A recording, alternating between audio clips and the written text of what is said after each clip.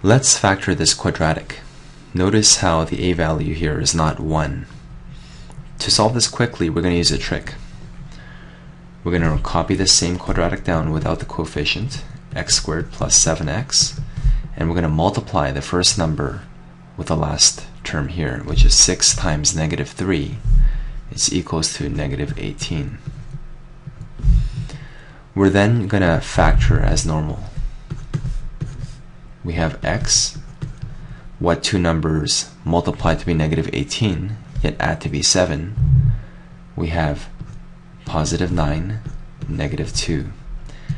9 times negative 2 is negative 18.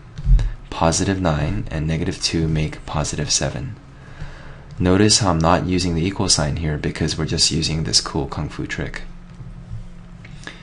So the next part is to actually divide by the leading coefficient, which is a 6. So we have 6 here and here because we have the leading coefficient 6. And then we simplify. So this becomes x plus.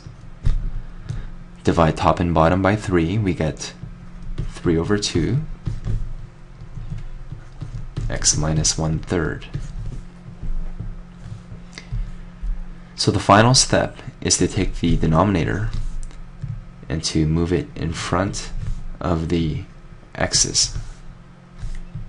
So our final answer is actually 2x plus 3 and 3x minus 1. Excellent.